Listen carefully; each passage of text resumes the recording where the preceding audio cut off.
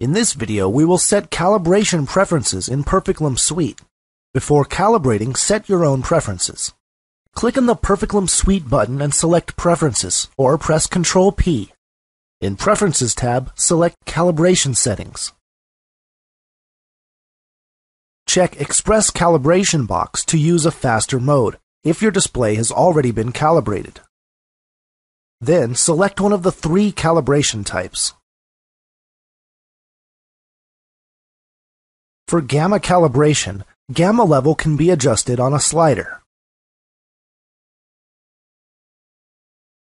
DICOM calibration allows adjusting color temperature.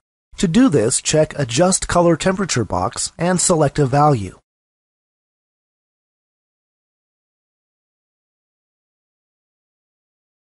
Check the Show Advanced Settings box to view X and Y values.